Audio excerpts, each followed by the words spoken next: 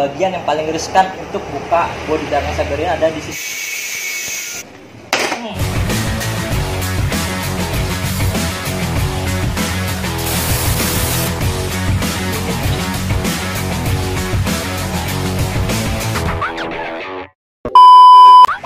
Halo guys, welcome back to my channel. Ketemu lagi dengan gue Dedi Video Custom. Jadi hari ini gue mau ngasih kalian video tutorial tentang pemasangan Delta Box full Honda Civic Box full Honda Civic K45 dan bodi belakang Civic 2.5 buat Civic K45 dari DJ Custom ya. Mau tahu proses pemasangan seperti apa? Kita datang lagi yuk proses pengerjaannya.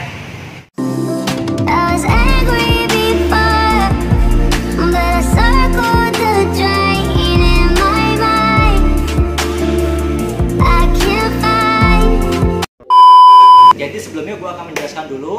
detail produk Honda CBR K45 ini dengan bodi model CBR 2.5 ya.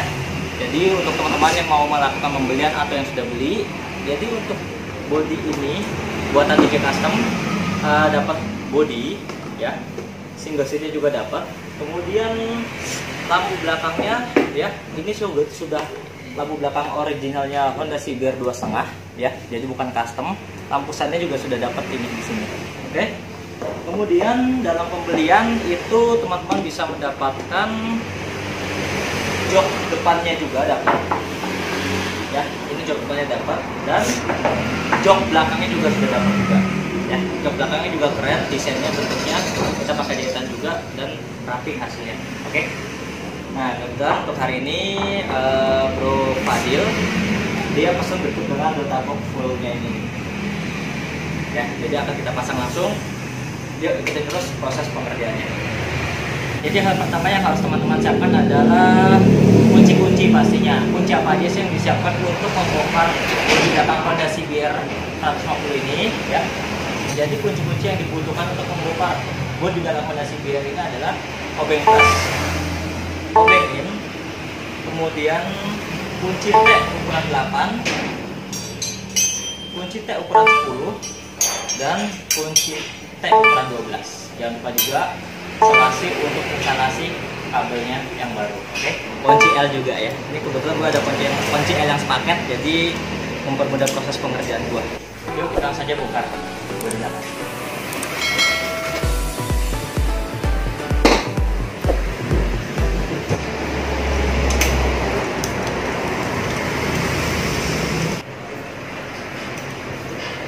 jok yang asli sudah nggak kita pakai ya, sudah kita ganti. Yang diganti dengan yang baru. Nah, jangan lupa siapkan juga box buat tempat baut-baut biar baut-bautnya nggak berantakan. Selanjutnya gunakan kunci T12 untuk buka bezel belakang.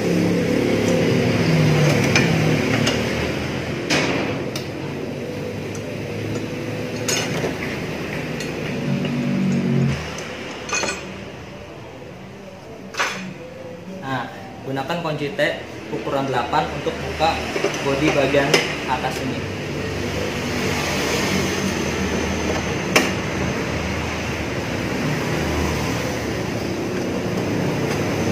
Ini juga sebelah sini ada bautnya ya.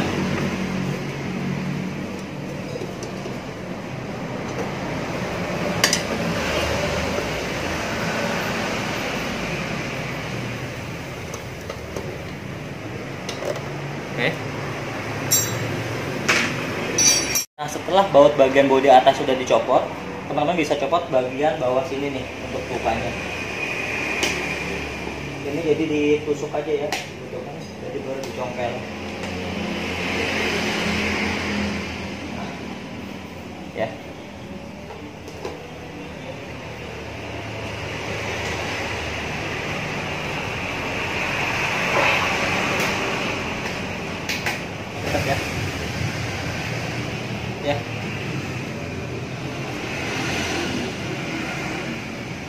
Oke. Satu. Nah, setelah yang bagian atas dan bawah sudah dibuka, bagian yang paling riskan untuk buka bu A few moments later. bagian yang paling riskan untuk buka bodi belakang Siberia ada di sini nih. Ini ada klip di sini. Hati-hati teman-teman bisa kadang bisa patah karena klipnya kecil. Harus tahu arah bukaannya ke mana ya. Oke. Keras banget. Untuk bukanya bagian sini.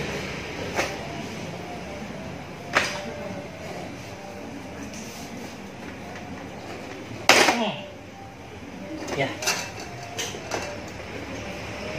Oke. Gue berhasil buka dengan mulus tanpa mematahkan klik.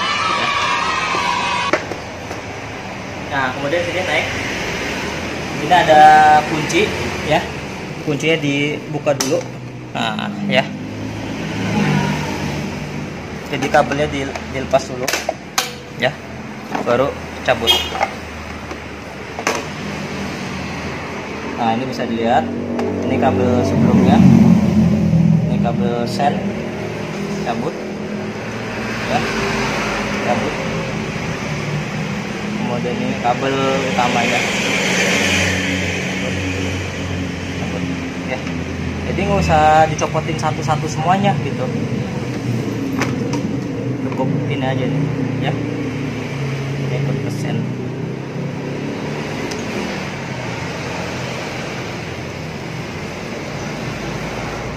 Nah jadi nih body bisa dicopot segelondong gini. Nggak perlu buka satu-satu semuanya nggak perlu ya. Langsung copot. Selanjutnya karena ini udah pernah ganti bracket plat nomor jadi tinggal copot aja. Nah bagian berikutnya adalah ini bagian yang bisa dibilang memang agak rumit. Ya semua orang bisa melakukannya tapi bisa dilakukan dengan hati-hati ya. Potong bagian belakang sini untuk pemasangan bodi belakang si biar dua setengahnya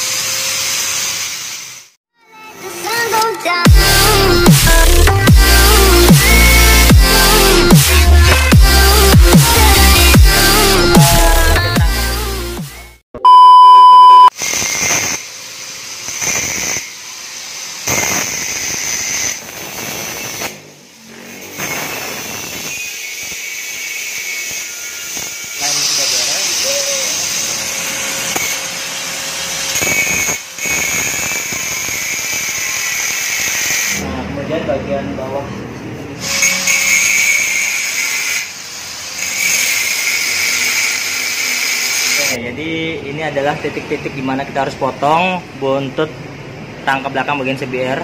Satu ada di sini, ya. Dua ada di sini, dan tiga di kanan kiri, ya. Bisa dipahami teman-teman ya. Kita kepotong kita tinggal buka aja. Oke. Beres.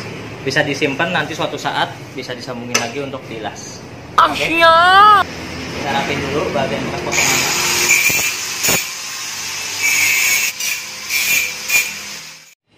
jadi setelah eh, bagian rangka sudah dipotong eh, ini pengait jok bagian belakang kita harus rebahkan ya. Jangan dipotong cukup direbahkan aja. Jadi suatu saat mau distandarin lagi masih bisa. Oke guys? Nah kita tekuk ke belakang aja.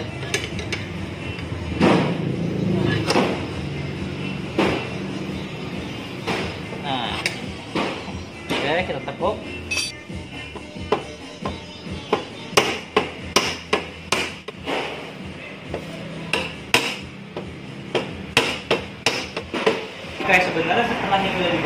bodi udah siap langsung dipasang. Cuma berhubung ini ganti sekarang delta box, jadi kita buka delta boxnya dulu ya.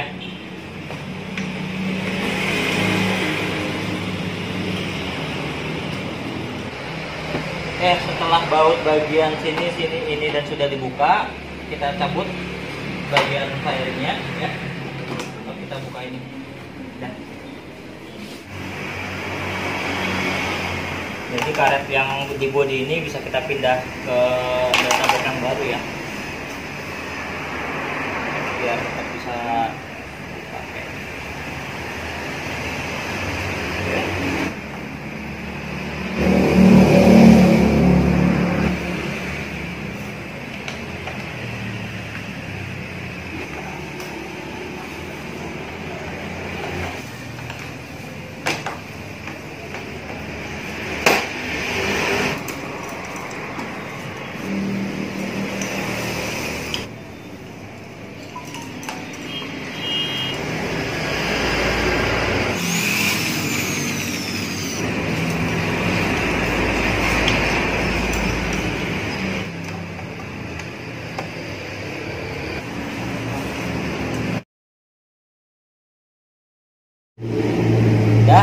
kita lanjut ke pengerjaan lanjut ke pemasangan di belakang. Jadi copot dulu kunci aslinya ya.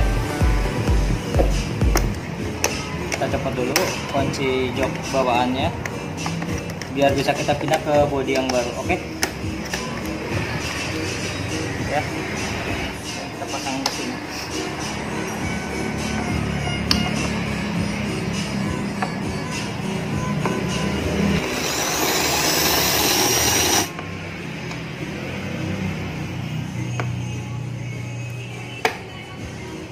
Nah, setelah kunci joknya sudah dipindah ke sini, ya, kita bisa lakukan pemasangan ke bagian motornya, oke?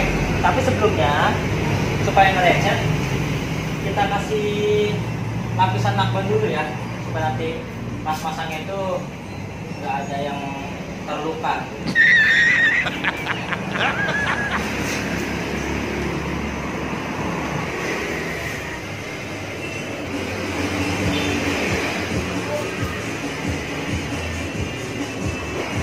Oke, tinggal melakukan pemasangannya. Bismillahirrahmanirrahim.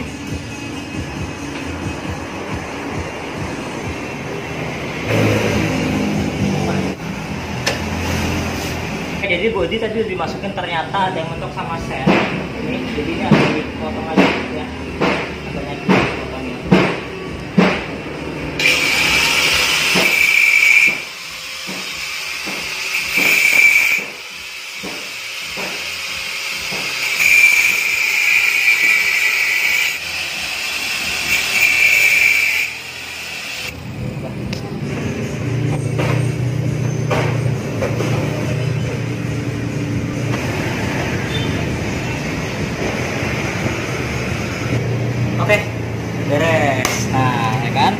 Jadi ini dudukan bautnya bagian depan baut 10 bekas di bodi yang belakang itu ikut bagian baut behel ya.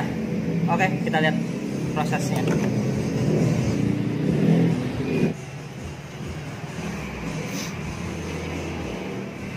Oke, eh, step berikutnya kita akan melakukan penyambungan lampu belakang. Ini yang sering ditanya-tanya teman-teman nih kalau lagi di luar kota, warna apa aja? Yuk kita bisa lihat bareng-bareng ya.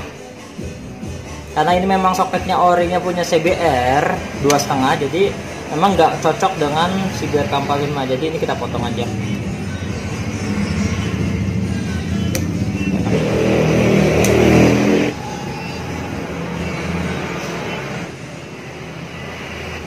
Oke, buat teman-teman yang mau nyambung bagian kabel-kabelnya, ini ada kabel yang di motornya, bisa cek ya. Ini ada dua soket, ini lampu malam dan lampu rem pastinya. Maksudnya kita lihat lihat dulu yuk.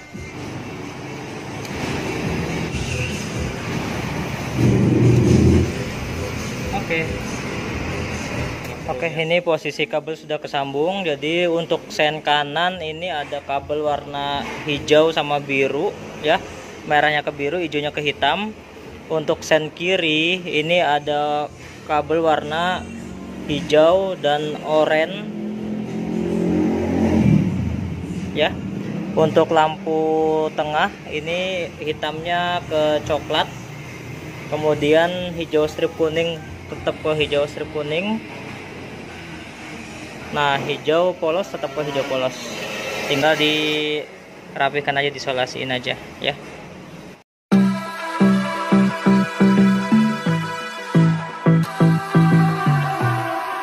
A few moments later. Oke, ini untuk uh, perapian kabelnya sudah beres. Jadi sudah bisa diingat tadi ya untuk warna-warna kabelnya. Keren tadi setelah udah kita rapihin. Kita masukin ke sini.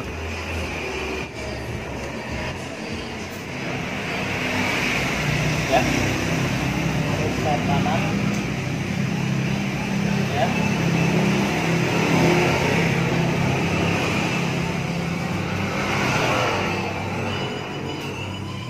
Oh iya jangan lupa ini pasang juga eh, kunci joknya pasang lagi.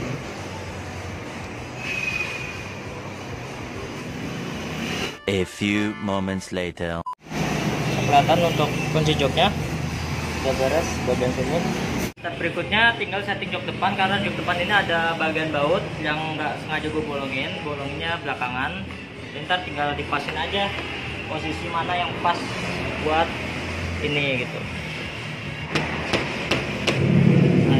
ada tandanya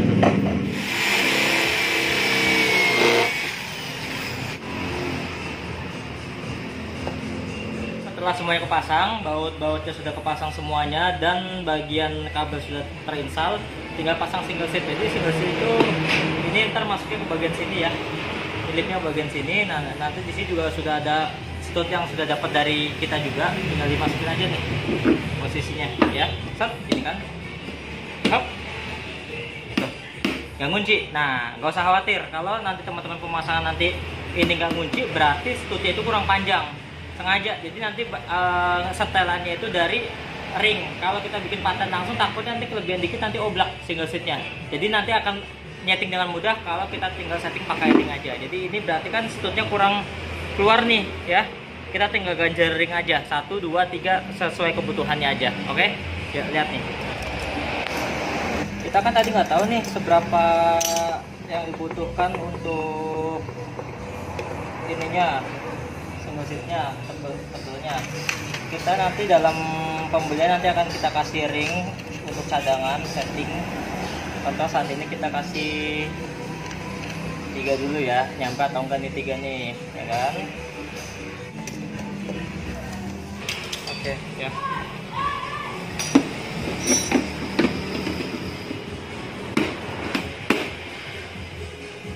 Nah pas banget kenceng banget nih kenceng banget ya.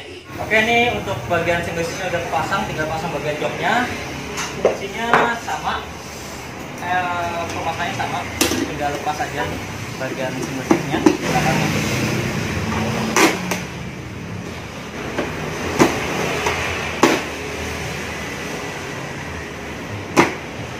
oke nah tinggal lepas lagi untuk kalau mau ganti jok oke tinggal pasang lagi beres jadi buat teman-teman yang kalau mau melakukan pemesanan bisa kontak hubungi bagian pemesanan tim JSM thank you